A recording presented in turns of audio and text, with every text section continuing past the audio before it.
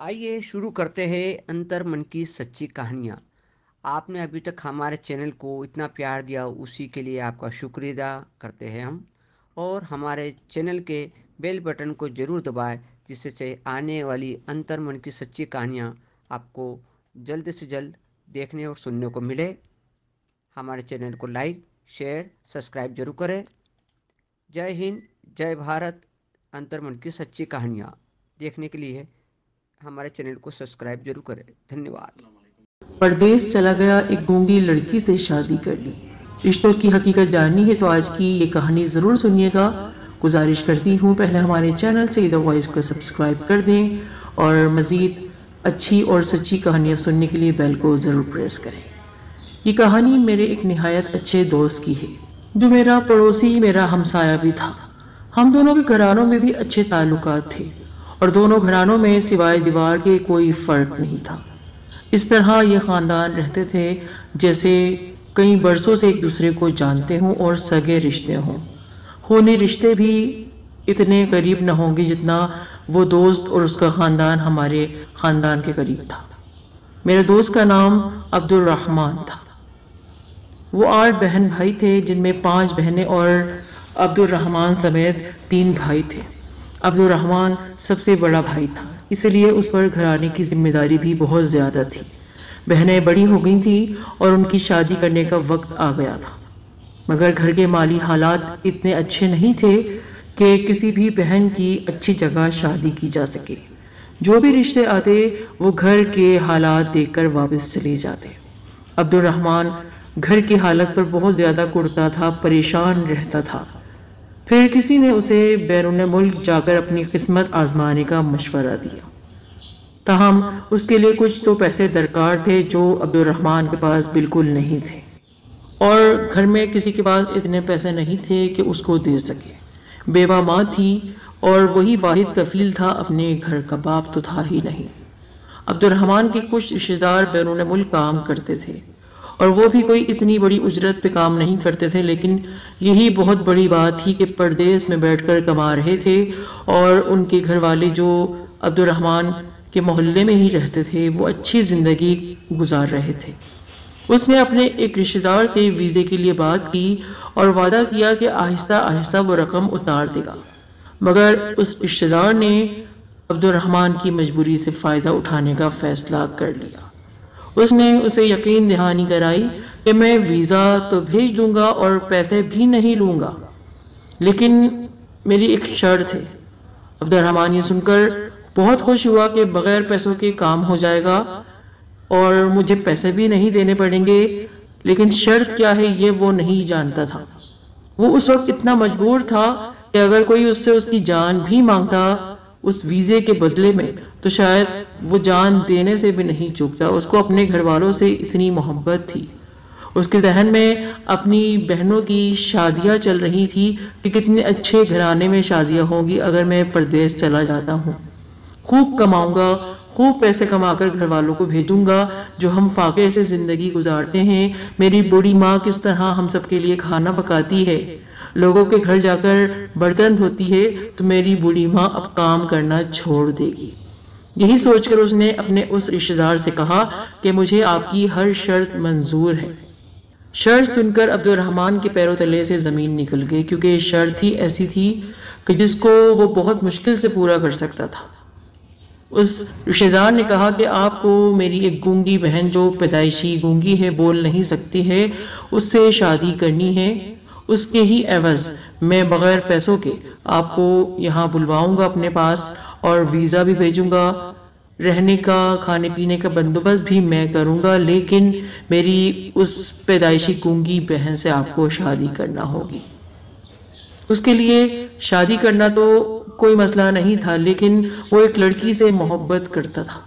और बचपन से वो दोनों एक दूसरे के इतने करीब थे कि एक दूसरे के बगैर रहने का सोच भी नहीं सकते थे। वो लड़की थी मेरी अपनी बहन। और हमारे घर में भी कोई एतराज़ नहीं था उनकी मोहब्बत पर। हम सबके जहन बने हुए थे कि जब अब्दुलरहमान अच्छी जॉब करने लगेगा और मेरी बहन तालीम हासिल कर लेगी तो फिर इन दोनों की शादी कर दी जाएगी। मंगनी बहुत पहले हो चुकी थी। अब जब ये मसला अब्दुलरहमान के सामने पेश किया गया तो वो दो कश्ती में सवार हो गया। एक तरफ़ घर वालों की मोहब्बत, एक तरफ़ बहनों की शादियाँ, छोटे भाइयों की तालीम, खुद उसकी अपनी जॉब और एक तरफ़ उसकी मोहब्बत और मेरी दोस्ती। दोस्ती तो शायद ख़त्म नहीं होती, क्योंकि मैं अपने दोस्त से बहुत मोहब्बत करता हूँ। लेकिन मेरे दोस्त को ये फ़िक्र के वो लड़की जो उसके लिए अपने दिल में सपने सजाए हुए हैं, न जाने कितने हसीन ख्वाब देखे हैं उसके साथ। कब से इंतज़ार कर रही है उसकी दुल्हन बनने के लिए? उसका सपना टूट जाएगा, उसके ख्वाब चिकनाचूर हो जाएँगे। उसने उस लड़की के भाई से कहा कि मुझे थोड़ा वक्त चाहिए। उसका भाई कहने लगा, वक्त तुम जितना चाहे ले लो, लेकिन हाँ में ही गर्दन हिलाना क्योंकि अगर तुम मेरी बहन से शादी करोगे, तभी मैं पैसे भी दूँगा और वीज़ा भी दूँगा। यहाँ पर मजबूरी लेकर जब वो आया मेरी बहन के पास तो तफसील उसने मेरी बहन को बता दी। मेरी साबिर शाकिर बहन। एक आँसू उसकी आँखों से नहीं निकला। उसने कहा कि जैसा मेरा महबूब चाहता है, वो वैसा कर सकता है। इस तरह मेरी बहन ने अपनी मोहब्बत की कुर्बानी दे दी और अब्दुलरहमान को शादी करने की इजाज़त दे दी। किस दिल से दी, ये तो मैं ही जानता हूँ और मेरा दोस्त जानता है। और ख़ुद उसने किस दिल से उस शादी के लिए रजामंदी ज़ाहिर की, ये तो वो ही समझ सकता है। कितना टूटा होगा वो और कितना बिखरी होगी मेरी बहन। अब्दुलरहमान के लिए बहुत ही मुश्किल फैसला था। उसके दिल और दिमाग में एक जंग शुरू हो गई थी। एक तरफ़ दिल था जो मेरी बहन की मोहब्बत में डूबा हुआ था। उसकी यादों में खोया हुआ था। कितने ख्वाब उसने सजाए हुए थे और एक तरफ़ वो लड़की जिसको वो जानता भी नहीं था। और जो बोल भी नहीं सकती थी, उससे शादी करनी थी तो मजबूरी के लिए करनी थी, क्योंकि घर वालों की मोहब्बत थी। किसको वो चुनता आखिरकार, उसने दिमाग की सुन ली और अपनी मोहब्बत कुर्बान कर दी। मेरी बहन तो पहले ही अपनी मोहब्बत की कुर्बानी दे चुकी थी। और फिर वो अपने घर वालों को सेट करने के लिए, घर को संवारने के लिए, बहनों की अच्छी जगह शादी करने के लिए, भाइयों के बेहतर फ्यूचर के लिए ना चाहते हुए भी राज़ी हो गया। निकाह हो चुका था उन दोनों का। हसबे वादा उसका वीज़ा आ गया और वो बैरून मुल्क चला गया। इलेक्ट्रिशियन था मेरा दोस्त। उसे बैरून मुल्क में इलेक्ट्रिशियन का काम मिल गया। कुछ ही दिनों बाद उसकी बीवी भी उसके पास आ गई। अपनी तमन्नाओं और जज्बात की कुर्बानी देकर दिन रात वो काम करता रहा, घर पैसे भेजता रहा। उसके घर के हालात तब्दील होने लगे। बहनों की शादियाँ तय हो गई। घर वालों ने इसरार किया कि बहनों की शादी में शरीक हो जाओ और मुल्क तो कम अज़ कम आओ, हमें अपना चेहरा दिखाओ। तो उसने जवाब दिया कि मेरा आना ज़रूरी नहीं है, आप सबको पैसों की ज़रूरत है, वही मैं भेज दूँगा। और बहन की रुखसती इस वक्त ज़्यादा ज़रूरी है। अब्दुलरहमान के घर वाले नहीं जानते थे कि वो चुपके से शादी कर चुका है एक गूँगी लड़की से। बहनों की शादी तो अब्दुलरहमान ने करवा दी। अब मज़ीद पैसे जो हर महीने वो भेजता था, उसकी बीवी ने वो पैसे रुकवा दिए। इशारों से तो वो बातें करती थी। उसने अपने भाई से शिकायत कर दी कि मेरा शोहर अपनी माँ को अब पैसे जो भेज रहा है, वो पैसे ये ना भेजे। ये मुझ पर अपने पैसे लगाए, क्यों उन गरीब घर वालों का ये ख्याल करता है? और जब उसके भाई ने, यानी उसे रिश्तेदार ने अब्दुलरहमान से बात की कि भाई, अब तुम पैसे घर नहीं भेजोगे अपने। तुम्हें ये पैसे मेरी बहन पर लगाने हैं, अपने आने वाले बच्चों पर लगाने हैं, उनके लिए बचाओ। तो अब्दुलरहमान ने कहा कि मैंने अपने घर वालों के लिए ही इतनी बड़ी कुर्बानी दी है, आपकी बहन से शादी की है। वरना मैं तो किसी और से मोहब्बत करता था। ये तो अचानक उसके मुँह से बात निकल गई थी। उसकी बीवी ने ये बात सुन ली और फिर वो तमाशा हुआ कि जिसको कोई सोच भी नहीं सकता था कि इतनी बड़ी बर्बादी आ जाएगी। अब्दुलरहमान उस रिश्तेदार के साथ काम करता था। उस वक्त तो वहाँ से चला गया वो। फिर उसने उसके खिलाफ एक साजिश रची। एक दिन अब्दुलरहमान को एक बिल्डिंग में इलेक्ट्रिशियन का जो काम करना था, उसके लिए उसने एक मजदूर को किराए पर बुलवाया। वो मजदूर उसी रिश्तेदार का, यानी उसकी बीवी का भेजा हुआ एक बंदा था। चोर था वो। उस जगह पर, उस बिल्डिंग में बहुत महँगे तारों के कॉयल रखे हुए थे। वो चार कॉयल थे। उस मजदूर ने वो तार चुरा लिए, वहाँ से चला गया। सुबह जब अब्दुल रहमान आया बिल्डिंग में काम करने के लिए तो वहाँ पर वो तार मौजूद थे ही नहीं। जिन लोगों से उसने ठेका लिया था, उन्होंने उसके खिलाफ मुकदमा जारी कर दिया कि इस आदमी ने अपने बंदे के ज़रिए महँगे वायर चुराने की कोशिश की है और चोर भाग चुका है। इस तरह अब्दुलरहमान को एक गलती की सज़ा ये मिल गई कि उसको कैद कर लिया गया। 10 से 12 साल तक वो जेल में कैद रहा। और सिर्फ़ यही नहीं हुआ, उसकी बीवी ने उसके खिलाफ जो साजिश रची थी, उसने फिर खुला का केस दायर कर दिया कि इस आदमी ने हमारे पैसे लूटे हैं, मेरे भाई ने इसको यहाँ बुलवाया था, उसके पैसे खाए हैं और इसको जुर्माने के तौर पर वो तमाम पैसे भरने हैं। यहाँ पर दोहरी मुश्किल हो गई थी उसके साथ। अब वो अपने घर में क्या पैसे भेजता?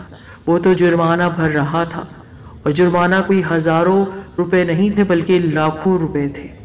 इस तरह जो मेहनत से उसने पैसे कमाए, वही पैसे उसके बर्बाद हो गए। जिन घर वालों के लिए उसने कुर्बानी दी, उन घर वालों को किसी हद तक तो वो सेट कर चुका था।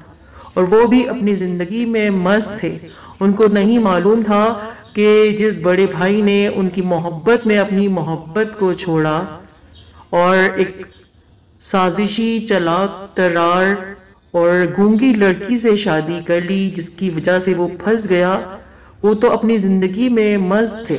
अब उनका भाई उनको पैसे नहीं भी भेजता तो कोई फ़र्क नहीं पड़ता था, क्योंकि उसके भाई बहुत अच्छी नौकरी कर रहे थे।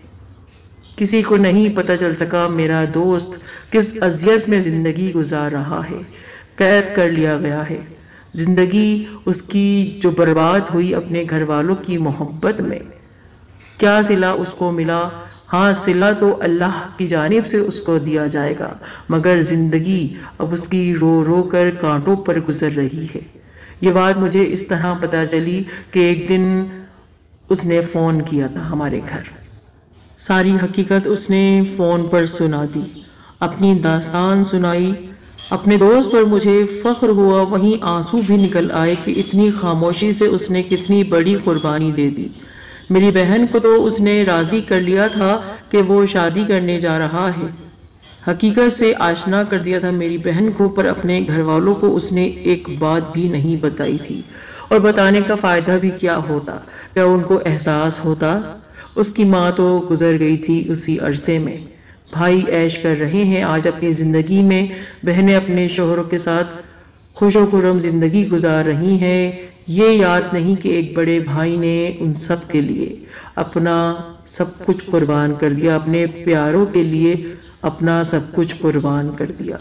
बस इतना कहूँगा कि बैरून मुल्क मुकीम अपने प्यारों की कुर्बानी को पहचाने, उनकी कदर करें। आज मैं इंतज़ार कर रहा हूँ कि कब मेरा दोस्त अपनी सज़ा काट कर वापस हमारे पास आ जाएगा, क्योंकि मेरी बहन अब भी उसका इंतज़ार कर रही है, क्योंकि मोहब्बत तो इसी का नाम है। अस्सलाम वालेकुम